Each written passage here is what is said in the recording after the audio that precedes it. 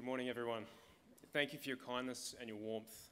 As daunting as it is standing up here in front of hundreds of people, you've all made me feel very welcome. The premature passing of the late Don Randall has created the need for a by election in Canning, and I'm humbled to be chosen by the Liberal Party, and I hope the people of Canning will allow me to carry on his work and represent the local community with the same vigour and determination. I'm aiming to fill some pretty big shoes. Over the past two weeks, I've spoken with a lot of Canning locals, and one theme stands out very clear. Don embraced Canning, and the people of Canning embraced him. His 11.8% margin at the 2013 election was testament to his charisma, drive, and personal connection with the people of Canning. This margin was quite remarkable when you consider that Don came to this electorate from the outside after being the member for Swan from 1996 to 1998, and then defeated Labor challengers in all five subsequent general elections. It underscores Don's commitment and hard work that he was so highly respected by people from all over Canning. The support of his wife and family should also not be underestimated. This election will be about the people of Canning and who can represent and fight for them like Don did. This is not a general election. The result will not change the government. It is about who will be the best representative of the people of Canning and who will stand up for them. I respect the people of Canning. The fact that we have Labor and others out there trying to use local residents to treat the by election as a chance to kick the PM or campaign for the solar industry is disgraceful. It shows a lack of respect for people's personal issues. It says to the people of Canning, we don't care if your main worry is law and order and the scourge of ice. We don't care if what you want most is jobs to be created through infrastructure projects. Instead, we want you to play our game and deliver political benefits to us, not you and your community. What the by election should be about is residents choosing a person who has the drive, honour, integrity, leadership, compassion, and the strength of character to serve others. It's about electing someone who will listen, learn, and deliver. It's about electing someone who could be part of the community. Labor's likely candidate, or in fact, now candidate, uses very carefully crafted, tricky political lawyer speak. You won't get that from me.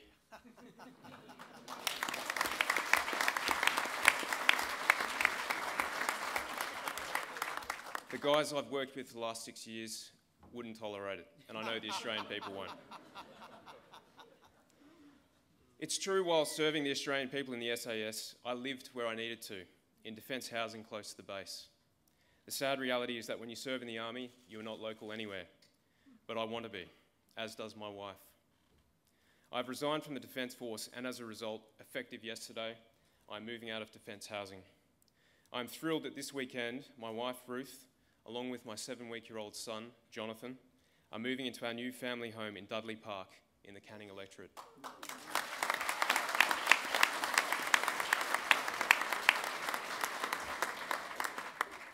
And I should thank my brother who flew over here at the drop of a hat to help with that removal. I'm looking forward to becoming part of the community and hopefully following in Don Randall's footsteps to represent local families and businesses. I was born in regional Victoria in a town called Wangaratta. My father started a church there from scratch in 1980, and I travelled with him in my early years around the vast parish that fell in the federal seat of Indi, connecting with people from all walks of life in homes, hospitals, on farms, and on fruit orchards. I have sweet memories of those times with my father. For 16 years, he drove around in a tiny yellow Mini Minor, and I remember the countless hours talking while keeping my feet up when it was raining because there'd be a puddle on the floor. Later in my teenage years, my friends referred to him as Mr. Bean. My family later moved to Sydney, and together with my two sisters and younger brother, I finished my schooling there. It was there that I spent time with my grandfather, learning of his World War II service, where he gave of himself under fire in the service of others. That story has always captured my respect. Growing up, I was very close to my grandmother, Rose. She was a nurse her whole life and looked after my grandfather until he died. She was a real character who bowled at her local club until her mid 80s. I remember she always had a beer in the fridge and that was something that my mates and I would take advantage of sometimes. my high school years were pretty normal. In my head, I wanted to be a real estate agent or a sports scientist. I played sport like everyone. I tried my hand at football, rugby, bodyboarding, and rowing. Had we stayed in Victoria, I might have had a decent go at Aussie rules. Alas, I doubled, dabbled unsuccessfully with rugby. When I finished high school, I went to the University of New South Wales to study philosophy, politics, and history. During this time, I worked as a barista at Gloria Jeans, so I know how to make a decent coffee.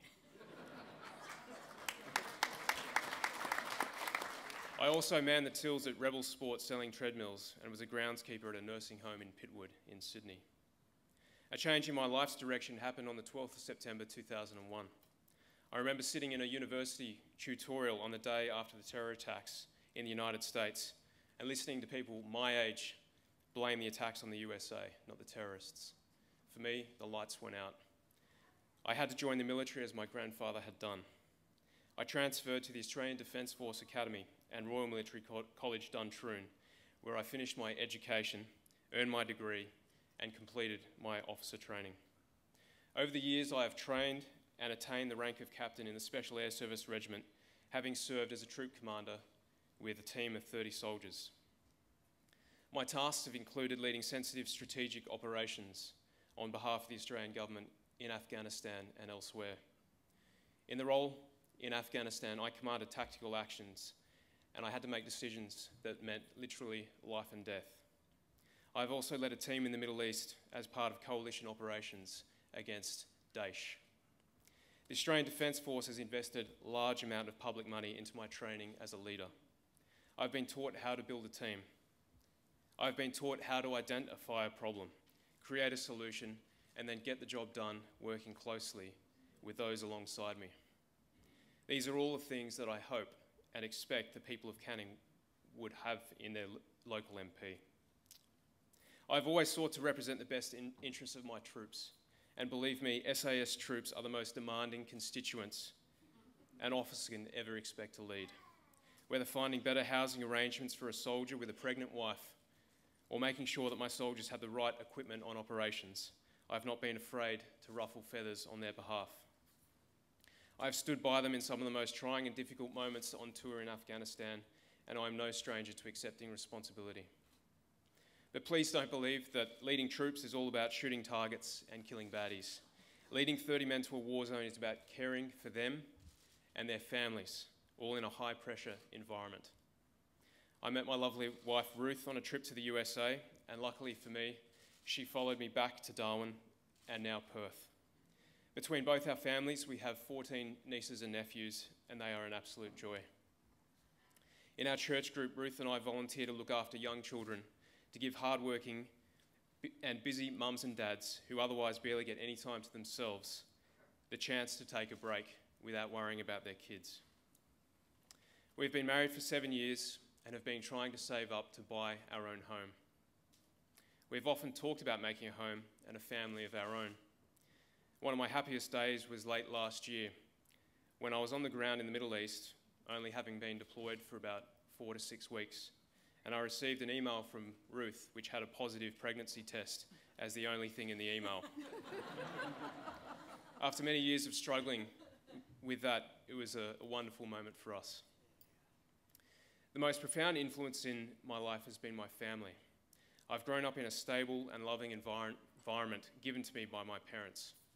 I love my family and I love my country and want to do my best to make it a better place for everyone. I've seen the best and worst of human nature in conflict. After deploying three times to Afghanistan, where power and violence regularly intersect, I've come to appreciate the unique conditions of liberty that has led to the flourishing of Australian society and our system of government. So, you may ask, why Parliament? I care about the direction of Australia. I care about the future generations of Australians who will face a large tax bill if we don't get the ship back on course. I want to preserve the institutions and cultural heritage that has made Australia and our way of life possible. Labor has shown that they will deface our national achievements with bad policy if given the opportunity. In short, I want to protect the Australian way of life, and the best way I can see of doing that as I build my family is to represent my local community in Parliament. I know from experience that nation building at, point, at the point of a gun can have limited effectiveness. And in Afghanistan, I did not feel that the, the, Len, the then Labor government had our backs. That feeling led me to properly understand the importance of strong, competent, strategic government. And make no mistake, I will be dogged in my pursuit. Prime Minister, please know that while I support our Liberal government, if elected, the women and men of Canning will be my first priority.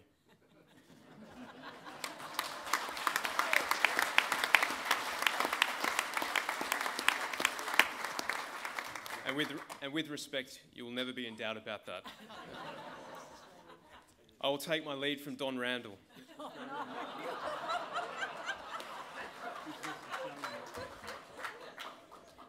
there was never any doubt on where he stood on issues important to him or his electorate. As the Liberal for Canning for 14 years, the late Don Randall proved that with the right level of commitment and care for the community, and by working extremely hard, you can, be, you can become part of that community. Many of you have shared stories about Don's commitment. You have told me stories of how Don demonstrated that the little things, the small details, matter, that attention to details in the lives of individual constituents can and does have an impact. One of Don's great strengths as a local member was that he served so many people in his electorate on a personal and individual basis. He did things for people that they never forgot. Don's example of looking after his electorate on a very individual and personal basis was Leadership 101. What will be important is how I deal with and work on the local issues. What counts is my ability to deliver solutions for the people of Canning by understanding their problems. I have already started this process. Over the past two weeks, I have been travelling through Canning and a clear picture of the issues and challenges for its residents has emerged. Issues like the need for jobs, the scourge of ice and drug related crime, black spots on mobile phone coverage, local fruit growers competing with imports, the need to protect, protect fruit against pests like fruit flies, the extension of the Tonkin Highway, Denny Avenue traffic issues in Kelmscott, and many others. While I may not be across all the detail now, what I can say is that if I'm elected, local, local residents will have a representative who will listen to their concerns and deliver solutions to their problems.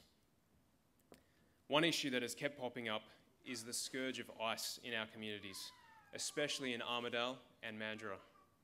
In the South Metropolitan Police District, which takes in much of Canning, there were 4,928 drug related crimes recorded in 2014 2015. This is a problem that needs a robust law and order approach as well as a compassionate community solution. Locally, we need to understand that many users have significant addiction and mental health challenges, and this is where we need to provide support both to addicts and their families. This problem affects everyone.